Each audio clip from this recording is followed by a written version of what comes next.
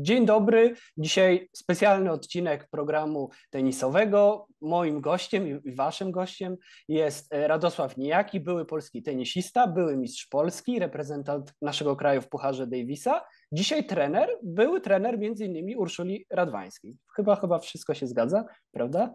Dzień dobry Państwu, witam. Tak, wszystko zgadza się to, co Pan powiedział. Dzień dobry. Y, to porozmawiamy o US Open, który się dosłownie wczoraj zakończył, wczoraj finał męski, ale skupimy się przede wszystkim oczywiście na rozgrywkach kobiecych, no bo te nas interesują z uwagi na Igę Świątek i generalnie na, na damski tur, gdzie mamy więcej reprezentantek, ale o męskim też oczywiście powiemy. Zacznijmy od tego, że no, nagrywamy ten odcinek w poniedziałek, prawdopodobnie pójdzie we wtorek, no i mamy taki no nie chcę mówić przykry dzień, no ale pierwszy raz od półtora roku Iga Świątek nie jest liderką rankingu w najnowszym notowaniu tego zestawienia kobiecego tenisa. Od półtora roku, od kwietnia zeszłego roku była liderką. Coś się troszeczkę zmieniło. Czy powinniśmy się martwić, czy no jednak numer dwa, no to wciąż jest bardzo wysoko, więc absolutnie nie ma się czym martwić, bo Iga za chwilę może wrócić na tą jedynkę. Jak pan na to patrzy? Yy, mi wydaje się osobiście, że Iga Świątek będzie panowała, mm, powiem klarownie, będzie panowała w damskim tenisie przez długie lata. Mhm. Y, to jest zawodniczka bardzo młoda, bardzo zdolna. Y, ona już wygrała cztery turnieje wielkoszlemowe. I oczywiście, kiedy ktoś dominuje tenis, nie obroni punktów, bo taki mamy system w zawodowym tenisie, to te punkty spadają i czasami zawodniczka, zawodnik nieznacznie się przesuwa. Ja bym tutaj absolutnie nie robił jakiejkolwiek tragedii. Oczywiście mm, tu u Igi będą liczyły się nie tylko zwycięstwa, ale y, prasa, y, statystyki będą y, informować o tym, jak długo jest numerem jeden, ile turniejów wygrała, wszelkie rekordy, które będzie biła, z pewnością będzie je biła wydaje mi się, że mm, naprawdę nie mamy jakby powodu do, do obaw. Ona jest dalej numerem dwa na świecie. W tak młodym wieku bycie już przez tak długi okres numerem jeden, y, wygranie turniejów wielkoszlemowych jest bardzo dobrze prowadzona, szkolona, ma niesamowity sztab tenerski tak. u swojego boku. Ja myślę, że to jest tylko kwestia czasu, kiedy ona znowu powróci na tron.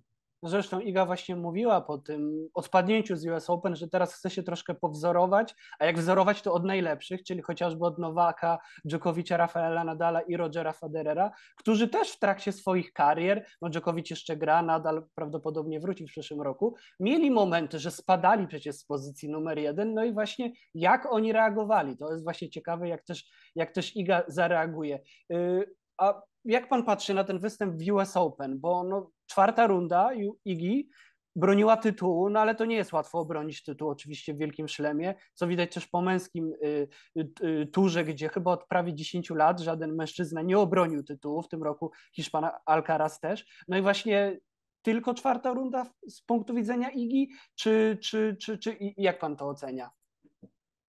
No patrząc na to, iż była oczywiście rozstawiona z numerem jeden i y, ten turniej wygrała wcześniej.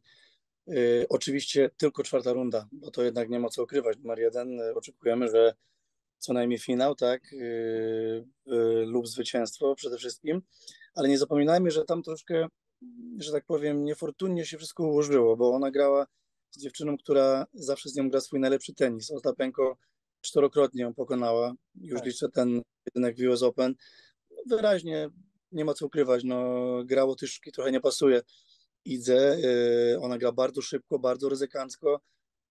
Y, nie wiem, co by się stało, kiedy Iga by wygrała ten pojedynek, bo y, to, że Coco Goff wygrała, oczywiście wielkie brawa, wiemy wszyscy, czy poradziłabyś sobie z Igą? Oczywiście ktoś powie, że wygrała ona z nią w Cincinnati, ale na turnieju Wielkiego Szlema mm, stawiałbym bardziej na Igę.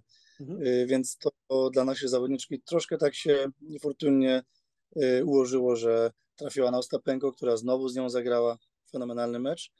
No, ale niestety później w ćwierćfinale przeciwko Koko no, Łotyszka nie istniała, no psuła, y, jakby troszkę była zmęczona, totalnie nie mogła znaleźć recepty na świetnie y, przygotowaną fizycznie. Przede wszystkim Koko Goff, która uważam, że głównie dzięki temu no oczywiście grała u siebie w Stanach Zjednoczonych, to jest Amerykanie grają bardzo dobrze u siebie, mhm. czują się zupełnie inaczej niż w Europie, No i taka pchnięta tą jakby możliwością, że Świątek odpadła, wygrała łatwo Zastapenko, no na pewno dodało jej to trochę wiatru, wiatru w żagle i sięgnęła po końcowy triumf. Chyba nikt nie spodziewał się, że wygra z Sabalenką, szczególnie po tym pierwszym secie.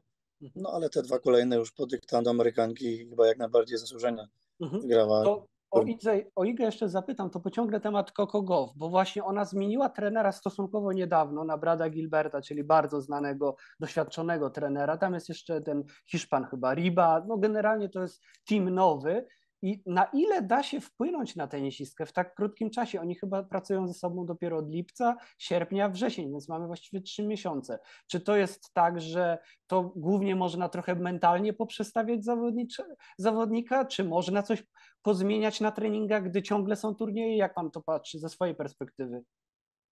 Wydaje mi się, że jakiekolwiek zmiany są e, trudne do, do implementacji, szczególnie w tak krótkim okresie. Bardziej tutaj bym szukał e, takiej świeżej krwi, że tak się wyrażę, że mhm. nowy team dodaje to, że mm, trochę inna motywacja dochodzi, e, z innej strony perspektywy patrzy się na swój tenis i chociażby podobne uwagi, mogą być podobne uwagi, które miała, e, mm, podobne problemy na korcie, które wiedziała, jak je rozwiązywać, mogą być przedstawione troszkę z innej strony, i e, zawodnik czasami potrzebuje, no, czasami wpada w taki, w taki marazm, w taką monotonię, że potrzebuje tego nowego spojrzenia. Czasami jest to takie same spojrzenie, czasami jest to troszkę inne, bardziej świeże i wydaje mi się, że akurat u Coco Goff zaprocentowało to mm, wyśmienicie. No, widać, zagrała fenomenalny turniej w Cincinnati, zagrała mm, bardzo dobrze US Open, e, no, wygrała pierwszy turniej wielkoszlemowy, tak. nie ma się do czego powiedzieć więc jest to jak najbardziej e, dobry e, traf, jeśli chodzi o nią. E, Ale te zmiany no i... trenerskie to chyba nie zawsze się robi w połowie sezonu, prawda? To chyba nie jest takie oczywiste. Zgadza się. Z reguły zawodnicy, zawodniczki decydują się na takiego rodzaju zmiany, gdzie jest koniec sezonu, gdzie można troszkę mieć więcej czasu, jest więcej zapasu, żeby odbyć sezon przygotowawczy z nowym trenerem, żeby nabrać troszkę innej perspektywy, spojrzenia na to, co się robiło, a to, co może się zrobić y, w przyszłości, y, co zmienić, co poprawić, y, jakie kroki podjąć, aby zawodnik, zawodniczka grała lepiej. Nie wiem, co było powodem do końca rozstania mm. z poprzednim szkoleniowcem, no ale w szybkim tempie się, że tak powiem, zaadoptowała no i wynik, e, jak widzieliśmy, był imponujący. No oczywiście. Wracając do Igi Świątek, bo oczywiście jest sporo zastanawiania, co Iga powinna poprawić w swojej grze, co nie, ale ja chciałem najpierw zapytać, tak z perspektywy właśnie trenera, no mamy jakiś tam na pewno zawód z punktu widzenia całego teamu, samej tenisistki Igi Świątek, ale też no wszystkich osób, które z nią pracują, bo pewnie no, liczyli jednak na jeszcze lepszy wynik w US Open. I, i, i jakie to są te pierwsze emocje tuż po takim meczu, kiedy, kiedy no, zawodniczka właśnie liczy bardzo na jakiś występ, no i cały team w jakiś sposób też, chociaż trener pewnie z tego stara się nie budować jakiegoś napięcia dodatkowego, no ale na pewno podświadomie też no, liczy, no bo wiadomo, to też jest jego praca, żeby zawodniczka grała jak najlepiej. I, I jakie to są te pierwsze emocje? Czy ludzie, nie wiem, jak mamy jeszcze trenera przygotowania tutaj, psycholog, czy jest kilka osób, to ludzie starają się zwykle każdy pójść troszkę, w, zamknąć się w pokoju, czy raczej i jak to u Pana zwykle wyglądało i jak Pan myśli, jak to w ogóle bywa czasami w takim teamie zawodniczym? Powiem tak, każdy zawodnik, każda zawodniczka na swój sposób um, przeżywa swoje zwycięstwa, szczególnie porażki. Jedni lubią y, o tym rozmawiać od razu na gorąco, mhm. Y, inni wolą troszkę się zreflektować, y, troszkę pobyć sami ja z doświadczeń moich y, mm, osobistych z zawodniczkami, z zawodnikami starałem się zawsze dać im troszkę czasu, mm, żeby trochę to przetrawiły. Mm, przede wszystkim najważniejsze chyba jest, żeby nie odnosić się do tego, co się wydarzyło właśnie na korcie, będąc jeszcze w emocjach. Nie zapominajmy, że to są ogromne emocje, oczekiwania. Y, ci wszyscy zawodnicy, zawodniczki wykonują no, morderczą pracę, żeby być tam, gdzie są ludzie często nie rozumieją, że to nie jest kwestia jednego meczu, to jest, to jest budowanie takiego momentum, które czasami trwa bardzo krótko, czasami trwa bardzo krótko, a czasami da się je przedłużyć troszkę dłużej i mhm. każdy ma taki, hmm, chociażby wspomniał Pan Nadala, Djokovicza, Federera, był moment, kiedy jeden, drugi czy trzeci dominował męski tenis w swoim jakby stylu. No i nagle przychodził jakiś element jakiegoś załamania, prawda? Nie mówię tutaj o załamaniu takim psychicznym, ale coś tam jednak się działo w ich grze, że potrafili wziąć kilka kroków do tyłu. No i tenis, nie ukrywajmy, no, diametralnie zmienił się w ciągu ostatnich 20 lat, zrobił się bardzo fizyczny, bardzo siłowy. Mm, każdy szuka tego, żeby gra jego ciągle ewoluowała. Nadal przypomnijmy sobie, gdy zaczynał, był świetnym baselinerem, czyli tak. zawodnikiem, który za końcem kortu grał dużą ilością topspina. Oczywiście przez całą karierę grał ten topspin, ale musiał nauczyć się troszkę więcej grać przy siatce, wzmocnił serwis. No to samo Jego Djokovic. Gra... To samo Djokovic A... teraz w finale też grał dużo przy siatce, bo musiał po prostu. No akurat z zawodnikiem takim, jak jest Medvedev, y, to jest konieczne, bo to jest, to jest, że tak powiem, maszyna, która się nie myli z końca kortu i tak jak zrobił to Alcaraz w tym roku wcześniej w turnieju Masters chyba 1001, ściągał go z premedytacją do siatki, grał mu krótkie piłki, bo no, co by nie ukrywać, Medvedev najgorzej na korcie, jeśli mamy wybrać strefę, czuje się jednak w tym polu karowym, gdzie jest mhm. siatka i gdzie jest, on tam, jego jakby siła jest zniwelowana. Wolej gra najsłabiej w porównaniu do swoich y, uderzeń, no i Djokovic fenomenalnie to wykorzystał i widać było, że no to jednak doświadczenie i wszystko wychodzi mm, no, w wyniku i, i tak jak mieliśmy wynik wcześniejszy z Alcarazem, no tak wczoraj chyba doświadczenie wziął górę i, i tak, tak jest z każdym zawodnikiem. E, Federer, żeby grać lepiej z Nadalem, musiał nauczyć się grać lepiej z backhandu jednoręcznego, musiał podejść bardziej e, przy, e, przy linii końcowej. Zrobił to podczas jednego finału w Australii. To nie są łatwe rzeczy, to są takie minimalne niuanse, które jeśli zawodnik zawodniczka mm, nie przepracuje, nie uwierzy przede wszystkim, nie będą w stanie iść ten kroczek dalej, ale czasami ten kroczek dalej powoduje diametralne zmiany i to cechuje najlepszych, to cechuje mistrzów i, i na pewno tak zrobi Iga Świątek y, po tym meczu. Nie sądzę, żeby na pewno się poddała, ona będzie dalej walczyć, jest druga na świecie, więc jest praktycznie na samym szczycie. Właśnie, no ma 22 lata, więc u niej jeszcze potencjał do rozwoju naprawdę jest duży przecież.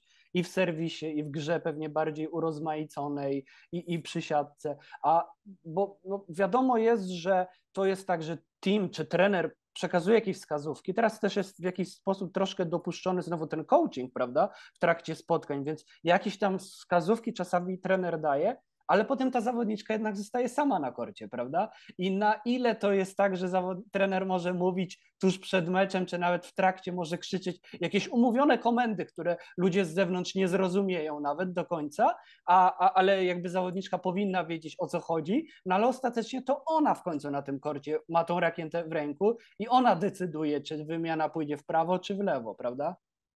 Ja zawsze byłem tego zdania, że na korcie mm, zawodnik, zawodniczka jest zawsze sam, sama. Yy, tener może być, tener może podpowiadać przed meczem, ukierunkować, ułożyć dobrą taktykę, ale nie ukrywajmy tego, że jak pojawiają się emocje, nagle zawodniczka gra zupełnie nieprzewidywanie. No trzeba coś szybko zmienić. I co cechuje tych najlepszych właśnie, no szczególnie jak patrzymy na Dżokowicza, który tyle lat gra na topie, on bardzo ci najlepsi potrafią bardzo szybko się przystosować, potrafią bardzo szybko wyciągnąć wnioski. U nich nie ma takiej dużej sinusoidy. Tam jest y, może kwestia kilku piłek, gema, dwóch, ale bardzo szybko się zbierają, bardzo szybko czytają intencje przeciwnika i przede wszystkim bardzo szybko reagują. Mhm. Y, I to jest najważniejsze na korcie, bo chociaż, chociaż był, byłby to najlepszy trener świata, jeżeli nie ma dobrego przekazu między trenerem a zawodniczką, zawodnikiem, nic się nie zrobi na korcie. Y, te czasami coachingi, szczególnie w damskim kobiecie, y, w damskim tenisie, przepraszam, są po to, żeby czasami właśnie y, szybko znaleźć jakąś receptę, przekazać kluczowe słowa, które już gdzieś tam są zakodowane w głowie, które były trenowane, były y, mechanizowane. One są częścią treningu. Tener ma tylko jakby z powrotem przełączyć, ukierunkować zawodniczkę. To, co będzie działo się dalej, zależy od samej zawodniczki. Dlatego tak ważna oczywiście jest dzisiaj strefa, sfera mentalna. Mhm. Dlatego tak ważny jest psycholog, dlatego tak ważna jest systematyka w tym, co się robi. Naprawdę nie ma przypadków w, w takich wielkich y, meczach tak dużą stawkę. No i podziwiać możemy tylko tych właśnie, którzy potrafią zrealizować ten plan. Mhm. A jak pan patrzy na Arynę Sabalenkę, która z jednej strony została właśnie nową numer jeden, no i bez wątpienia gra najlepiej w życiu w tym roku, to nie ma wątpliwości, chociażby wyniki wielkoszlemowe to pokazują, a z drugiej strony te ważne mecze nie zawsze nadal jest w stanie wytrzymać emocjonalnie, bo wydaje się, że Skoko Goff no od drugiego seta to zagrała znacznie poniżej swoich możliwości jednak Aryna i tak samo były półfinały chociażby z Muchową w Paryżu, gdzie miała piłkę meczową i nie wygrała i z Ons Jabeur na Wimbledonie też w półfinale, wtedy też była o jeden mecz od tego, żeby zostać numerem jeden. Co się teraz stało? Czyli z jednej strony Aryna jest dużo mocniejsza psychicznie niż była jeszcze kilka lat temu, bo to od lat się mówiło, że ma wielki talent, ale z drugiej strony to nie jest takie czarno-białe chyba, że jak już się jest stabilniejszym psychicznie w tenisie, no to już się jest całkowicie w każdym meczu, prawda? Zgadza się. Uważam, że mm, Sabalenka, y, tak jak i porównałbym też tą drugą zawodniczkę Rybakina, one są mhm. bardzo, bardzo niebezpieczne, szczególnie przez swoją fizyczność. One grają piekielnie szybko, one są bardzo mocne y, i gdy grają swój dobry tenis, ciężko im zagrozić. Y, Iga z takimi zawodniczkami zawsze będzie miała problemy, które też są wytrzymałe, które grają mocno, mhm. bo one nadają jakby swój rytm. Y, one dyktują grę na swoich warunkach. Oczywiście jest to bardzo ryzykowne, bo gdzie pojawia się większa siła, tam jest większe ryzyko zepsucia i rzeczywiście Zabalenka, y, Rybakina, że tak powiem, grają bardzo ryzykancko. Oczywiście one się poprawiają, one są coraz bardziej regularne, ale często właśnie te mecze najważniejsze jest kwestią tego, że na pewno ta sfera y, ich psychiki, y, kiedy jest, y, kiedy nie, nie ma żadnych problemów na korcie i w głowie, grają jak z nut.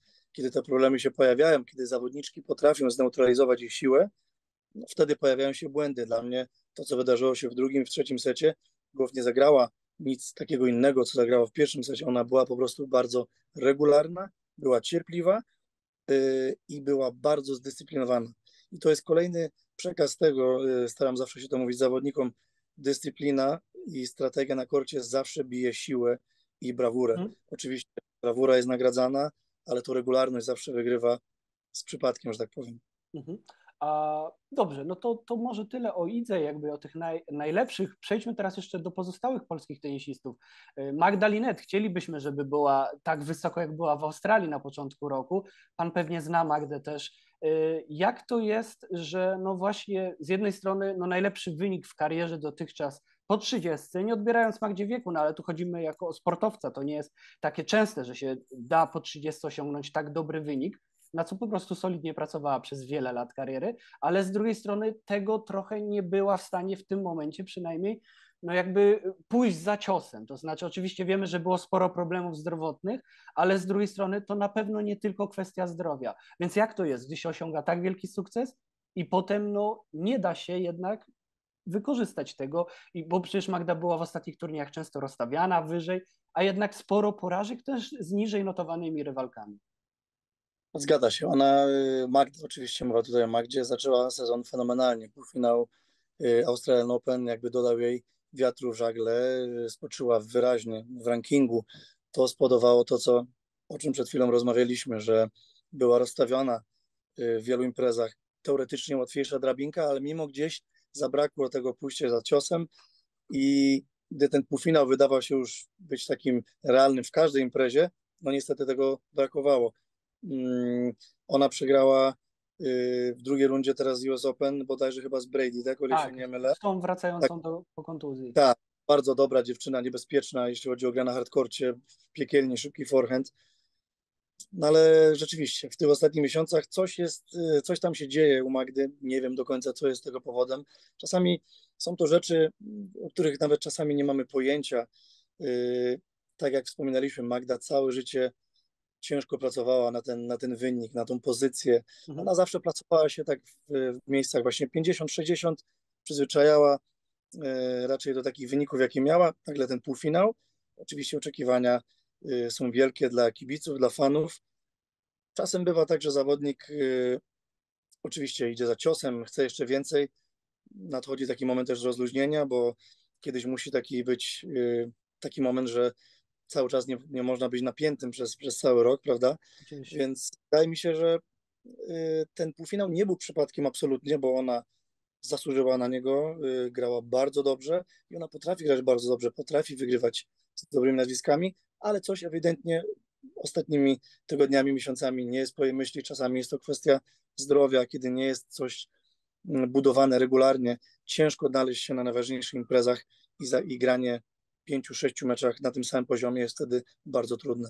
Mhm jeszcze o Magdalenie Frank, która też odpadła w drugiej rundzie, ale w jej przypadku to chciałem takie bardziej generalne pytanie zadać, bo czasami mam wrażenie, że jej sukcesy nie są doceniane w Polsce, bo się zapomina, że jest tą trzecią w pierwszej setce i jak z Pana perspektywy właśnie no chociażby trenera Urszuli Radwańskiej, ale też innych zawodników, zawodniczek, jak, czy to jest trudne wybić się z polskiego właśnie tenisa, żeby dojść do setki w rankingu ATP czy WTA? Wydaje się, że to wcale nie jest tak łatwe, jak się ludziom wydaje. Oczywiście mamy Igę i mamy Magdę i to jest, one są bardzo wysoko, no ale takie miejsce w okolicach między 70 a 90 Magda, Magdaleny Frank, to też jest chyba wynik, na który warto jednak jakby podkreślać i cały czas przypominać, że mamy tą trzecią dziewczynę. Zdecydowanie. Ja jestem zdania tego, że mm, Magdy wyniki nie są może tak doceniane, jak chociażby, no, Iga narzuca nam troszkę poprzeczkę wyżej Wiadomo. na Australian Open. Y, przepraszam, y, Magdalinet, może będzie czas też Magdy Frank, że w takim jednym turnieju zabłyszczy. To jest zawodniczka, która troszeczkę obrała inną drogę. Ona, ona wchodzi bardzo progresywnie na, na te wyższe miejsca. Mm, bardzo długo była w granicach tam, mówię wiele lat temu, 130, 150, później ta setka, okolice setki, teraz y, znowu miejsca wyżej. Bardzo systematycznie uważam, podciąga swój poziom tenisowy ja myślę, że to nie jest jeszcze jej ostatnie słowo, ona będzie wyżej. Mm, jest bardzo zdeterminowana, bardzo pracowita, y, systematyczna przede wszystkim. Y, dużo gra, ma dużo doświadczenia i to tylko procentuje, bo te jej wyniki teraz, które są mm, aktualnie y, przez nas tutaj obserwowane, to nie są przypadkiem. To jest sukcesywnie budowanie takiej cegiełki po cegiełki po cegiełce i ja jestem zdania tego, że ona jeszcze nas na pewno nieraz zaskoczy. Ja też chyba, no może niektórzy ludzie, którzy nie obserwują aż tak bardzo dokładnie tenisa, to mogą mieć wrażenie, że no z każdego kraju łatwo tak samo się wybić. No nie, bo na przykład Coco Gauff dostawała dzikie karty do tych największych turniejów w Indian Wells, czy no do tych wszystkich Miami i tak dalej. US Open miała szansę grać i tak dalej, a Iga Świątek przecież nie dostawała często dzikich kart, już nie mówiąc o Magdzie e, Frank, więc to nie jest tak, że z każdego kraju da się tak samo przecież łatwo wybić, prawda? Zgadza się. Ja uważam, że takich dziewczyn jak Iga to yy nie znajdziemy przez, przez wiele, wiele lat. Może i znajdziemy. No tak samo mówiło się y, w dobie Federera, Nadala, jest Alcaraz, prawda? Więc y, ciężko to przewidzieć, ale na pewno to są takie diamenciki, nie ukrywajmy. Y, inni mają talent taki, żeby istnieć w tej, w tej setce, niektórzy w pięćdziesiątce, niektórzy w dziesiątce. To jest, to jest wiele niewiadomych, to jest bardzo długa i wyboista droga w kraju takim, jakim mieszkamy, porównując się już do tych światowych potęg, jeśli chodzi o Stany Zjednoczone, czy Francja, czy Hiszpania, naprawdę zrobienie wyniku top 100 y, w damskim, w męskim tenisie to jest naprawdę nie lada wyczyn. To jest bardzo trudne, trzeba poziom jakiś, nie jakiś, tylko dobry reprezentować. Trzeba jeszcze wejść, tam się utrzymać, a nie zapominajmy, że taka Magda Linet jest tam już mm, kilka lat, Magda Frank również, więc to tylko pokazuje, że to nie jest przypadek, to jest, to jest budowanie, to jest y, ciągłe szukanie y, jakichś swoich nowych innowacji, żeby być lepszym. Ten tenis ciągle się zmienia, więc ja naprawdę chylę czoła i, i jestem bardzo dumny, że, że, mm, że reprezentują nasz kraj, że, że znam takie osoby. Bardzo dobrze znam i Magdalinet, i Magdę więc życzę im zawsze jak najlepiej i cały czas trzymam za nie kciuki i wierzę, że nie powiedziałeś ostatniego słowa. No, Magda jest 20 chyba bodajże czwartą, piątą rakietą tak, globu. W tym momencie. Y, Magda Frank jest w okolicach 70. Oby było jeszcze lepiej, oby były zdrowe, bo w tak długiej i wyboistej karierze zdrowie jest bardzo, bardzo ważne, szczególnie y, biorąc pod uwagę to, że tenis jest coraz szybszy, coraz bardziej fizyczny. Y, no i to idzie troszkę mm, w złym kierunku, ponieważ ile można, czy można więcej, czy można szybciej zagrać, to jest, to jest pytanie, które na pewno nurtuje z nas. Mhm. Jeszcze na koniec, może o tym tenisie też zapytam, ale no muszę zapytać o Huberta Hurkacza i generalnie o, o, o jego występ w Nowym Jorku i o to, no generalnie jego występy wielkoszlemowe. Jak z Pana perspektywy to wygląda, że Hubert potrafi grać świetnie w innych turniejach, no potrafił zagrać kapitalnie na Wimbledonie dwa lata temu, ale jednak biorąc pod uwagę już tą liczbę występów Huberta w Wielkim Szlemie, to częściej trzeba powiedzieć szczerze, nie gra na miarę swojego potencjału, aniżeli gra. Niestety. I czy to jest po prostu sfera mentalna, czy to jeszcze są jakieś inne elementy, które sprawiają, że Hubert po prostu no, nie sam nie wierzy, że jest zadowolony ze swoich wyników, jakie zwykle osiąga, osiąga niestety w Wielkim Szlemie. Trudne pytanie, ponieważ e, Hubert Hurkacz jest jednym z czołowych zawodników świata. Był już w okolicach dziesiątki, teraz chyba jest bodajże siedemnasty. Wygrywa tak. turniej Master Series, prawda? Więc to są te od razu po szlemach najważniejsze turnieje. Czyli on tam jest. On jest w tej czołówce, on, on e, puka do drzwi, gra równe mecze z najlepszymi na świecie, chociażby mecz z Alcarazem niedawny, gra blisko e, przeciwko innym, wygrywa z dobrymi zawodnikami, wygrywa z Tsitsipasem, tak. Y, z tymi zawodnikami, więc y, trudno wskazać tutaj jakąś, mm, jakąś przyczynę, jeśli chodzi o niedyspozycję tenisową. Wydaje mi się, że tutaj głowa mm, na pewno jest, jest autorem tych wszystkich może niepowodzeń, jeśli chodzi o turnieje Wielkiego Szlema, bo zawodnik, który dysponuje takim serwisem, zawodnik, który z takim wzrostem tak fantastycznie, fenomenalnie się porusza, jest tak przygotowany fizycznie, no jednak poza tym Wimbledonem, a wiemy, że trawa jest dość specyficzna i tam jest jednak w przeciągu ostatnich dwóch dekad najwięcej niespodzianek. Mamy nazwiska, które raczej w innych szlamach nie docierają do półfinałów. Było ich wiele, można by wymieniać, ale mimo też rozstawienia, mimo sprzyjających warunków, no nie ukrywajmy, no nikt chyba się nie spodziewał, że Hurkacz przegra z Draperem, z którym wcześniej też już wygrywał no, co, coś dzieje się nie tak, y, jeśli chodzi o Huberta w tych turniejach wielkoszlemowych. Nie wiem, czy jest to też może formuła, że gra się do trzech wygranych spotkań, chociaż tu o jego y, fizyczność oraz jego wydolność bym się nie martwił. Y, coś przeszkadza ewidentnie, żeby chłopak przeszedł dalej, żeby zagrał w tym drugim tygodniu, jak to miało miejsce na Wimbledonie. Ja liczyłem, że ten turniej będzie taki właśnie w Nowym Jorku, bo on gra najlepiej na nawierzchniach twardych, szczególnie w Stanach, dobrze się czuje. No ale znowu y, rozczarowanie, szkoda, będę oczywiście dalej kibicował, wierzę, że będzie taki jeden turniej, który odczaruje, że tak powiem, jeśli chodzi o Wielki Szlem, mm, bo jak na razie, no nie ukrywajmy, te szlemy wypadają bardzo kiepsko z jego strony i oby to się po prostu przełamało. Mhm.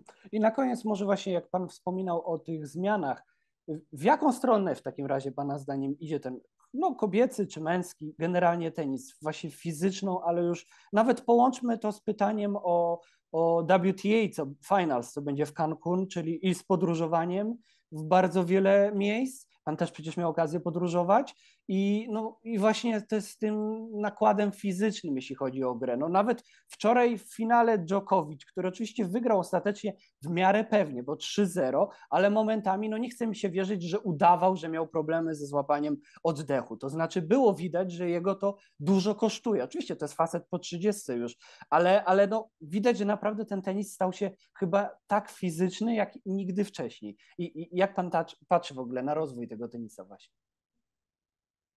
No nie ma co ukrywać. W, dniu, w czasach dzisiejszych y, motoryka, przygotowanie fizyczne jest absolutnym fundamentem dla każdego z tych wielkich y, zawodników, zawodniczek. Bez tego nie może dzisiaj nic. Zobaczmy na przygotowanie najlepszych na świecie. Alcaraz, Djokovic, Świątek, Rybakina, Goff. To są po prostu, no nie nazwę ich robotami, ale yy, sposób w jaki się poruszają, z jaką prędkością, z jaką zwrotnością, jeszcze na ziemi są oczywiście wślizgi, ale te wślizgi na hardkorci to, to czasami aż człowiek jak to ciarek, ciarek dostaje. Y, coraz szybsze serwisy. No, widzimy tego Sheltona, y, będę nowego z, ze Stanów. No, chłopak absolutnie, który nie dość, że dobrze się porusza, dysponuje niesamowitą siłą. No i tak popatrzeć, w, chociaż ja tak zawsze porównuję 10-15 lat temu, kiedy mm, jeszcze grałem w tenisa jako zawodnik, lub 20 lat wcześniej, kiedy młody chłopak w tenisie, kiedy ktoś miał powyżej 1,90 m wzrostu, mm, bardzo ciężko było mu z poruszeniem. Raczej była to, był to dobry serwis, wolej, z tyłu bardzo słaba gra. Dzisiaj patrzymy na zawodników takich jak Cicibas 193, Zwierew 196, Hurkacz 198, Medwiedew, wszyscy mają blisko dwóch metrów i poruszają się jak koty. Dimitrov, prawda? No to jest, to jest niesamowite i wydaje mi się, że to zwalnianie nawierzchni, te mm, próby z powiększaniem piłek, żeby ich e, troszkę, żeby one były troszkę bardziej miękkie. No, ludzie chcą oglądać niezłe widowisko, chcą oglądać wymiany, więc to jest e, naprawdę mm, idzie w kierunku, gdzie jest szybciej, więcej, mocniej. No i nie wiem, czy ta właśnie mm, ta domena tenisa, ta, ta cała jakby otoczka białego sportu powoli się przez to nie zaciera. Mhm. Ostatnio miałem bardzo ciekawą rozmowę z Markiem Furianem, yy, yy, dziennikarzem tenisowym, sportowym tak. i o tym dyskutowaliśmy. Na pewno jakieś zmiany chyba będą, yy, będą w planach, bo nie wierzę, że można grać coraz mocniej, coraz szybciej. Po prostu nie wiadomo do jakiego momentu to zmierza, jak to będzie dalej wyglądało, no bo nie ukrywajmy, z przeciążeniami, z siłą, z prędkością pojawiają się kontuzje, problemy zdrowotne. Tak to jest, tak to już jest i miejmy nadzieję, że tenis się, nie powiem, że odrodzi, ale może w tym dobrym sensie, że znajdzie e, dalej e, swoją, swoją e, no taką, takie miejsce, które miał zawsze, że, że nie będzie szedł w stronę właśnie koszykówki czy innych sportów, że będzie coraz bardziej siłowy, coraz bardziej mhm. fizyczny. Mhm no bo jednak nie, nie na darmo jest nazywany białym sportem i, i aż przyjemnie się na to patrzy wszystko, a no wszystko się zmienia. Jasne. No dodam na koniec, że chociażby no, problemy ostatniej Jeleny Rybakiny to wydają się być związane trochę z tym jej bardzo mocnym i siłowym serwisem, który w pierwszej części sezonu błyszcz, ona generalnie błyszczała, ale no teraz ostatnio dużo problemów fizycznych, szybka porażka w US Open i to chyba nie jest przypadek, tylko ona po prostu płaci, tak jak prawdopodobnie jeszcze inne tenisistki pod koniec tego sezonu. Ja nikomu nie życzę, ale mogą być jakieś wycofania, kontuzje, bo po prostu sezon jest zabójczy, jeśli chodzi o to, jak długo się, dużo się gra i na jakim y, wysiłku. Dobrze, to dziękuję. Mhm. Tak, chciałem tylko dodać, że, że absolutnie się zgadzam. Y, akurat bardzo dobrze znam trenera Rybakiny Stefano y, Wukowa i bardzo często hmm. z nim rozmawiam. I tak jak mówiliśmy, tam cały sezon jest skrupulatnie zaplanowany. Tam nie ma miejsca na żaden przypadek. Każdy odpoczynek, każdy dzień wolny. Oczywiście y, może być troszkę zmian, jeśli zawodniczka gra dłużej lub krócej tutaj, ale te wszystkie kontuzje, te przeciążenia pojawiają się bardzo często i sposób y, szybkiej reakcji, szybkiej jakby diagnozy jest tutaj esencjonalny, bo może uciec kolejna część sezonu, a to wszystko oczywiście kosztuje, jeśli chodzi o punkty, tytuły i, i, i dalsze laury. A to muszę zadać jeszcze jedno pytanie, skoro pan zna trenera Rybakiny, czy on zawsze był taką osobą na korcie, który tak bardzo dużo mówił i w taki sposób dość, no mówmy delikatnie, ekspresyjny wyrażał się do swoich tenisistek, no bo to on z tego słynie troszeczkę. Ja bardzo y, kojarzę go y, wiele lat temu i y, bardzo często jeździliśmy po tych samych turniejach kiedy trenowałem z Ulą Radwańską, on trenował z Saszą i wtedy mhm. y, byliśmy wtedy na takim cyklu turniejów mniejszych, y, także WTA y, w, w, Stanach Zjednoczonych. Razem mieszkaliśmy, dużo rozmawialiśmy, dużo trenowaliśmy. Zawsze był taki, jaki jest aktualnie, jest bardzo ekspresyjny, bardzo to nie zapominajmy, to jest Chorwat. Bałkanie tak. są bardzo ekspresyjni, on bardzo dużo gestykuluje, mówi szybko to, co mu przychodzi do głowy, ale wydaje mi się, że robi to bardzo dobrze, bo trafia do tych dziewczyn, y, trafia do tej rybakiny, widzimy, no wyniki ma też fenomenalne od kilku lat i robi dobrą robotę i, i chyba w tym jest właśnie jego siła. Mhm, jasne. Dobrze, to dziękuję panu bardzo w takim razie za rozmowę i życzę wszystkiego dobrego i do następnego razu, do kolejnej okazji, bardzo gdzie porozmawiamy. Dziękuję panu, do widzenia. Dziękuję, wszystkiego dobrego. Pozdrawiam wszystkich, którzy mieli okazję oglądać. Pozdrawiamy. Pozdrawiam również.